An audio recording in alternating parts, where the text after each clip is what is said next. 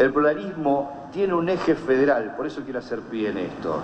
Hemos mantenido en la Secretaría o en el Gobierno reuniones con más de 400 representantes, fíjense, más de 400 representantes dueños de medios del país, radios, televisión, gráfica, digitales. Los vamos a seguir haciendo. Es decir, es una imagen muy fuerte que a la Secretaría, al Gobierno, por instrucción de la Presidenta, nos hayamos juntado con los medios a nivel nacional. ¿Qué es lo nacional y lo provincial?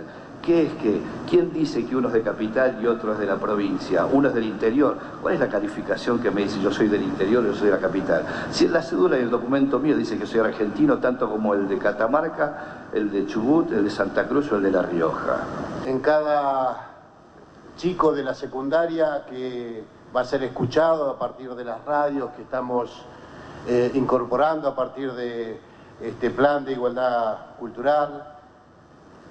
Cuando alguien de la Puna o de la Patagonia o del lugar que sea, independientemente de donde viva, pueda acceder a la información a través de Internet, pero también pueda dejar su manifiesto, creo que estamos cumpliendo con el espíritu de lo que fue esa lucha que quedó plasmada en la Ley de Servicios Audiovisuales y estamos cumpliendo con el sueño de Néstor, de Néstor Kirchner.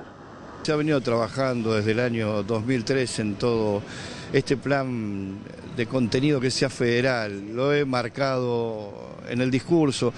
hemos mantenido reuniones con un montón de medios del interior donde se les da la oportunidad de participar, de ser activos, una ley de medios que toma plena vigencia, es una deuda con la sociedad, un sistema de inclusión que va hacia ese camino. La instrucción de la presidenta es muy precisa, la inclusión para todos, sintonía fina, trabajar en ese camino, de eso se trata. Justamente hacía referencia a la ley de servicio de comunicación audiovisual que el presidente de la Corte aclaró que está en plena vigencia siempre está en vigencia, salvo por algunos temas que tienen que ver con la lectura judicial que puedan tener algunos interesados que no salga. Definitivamente, la ley está vigente, la ley tiene cuerpo, tiene espíritu y tiene un contenido.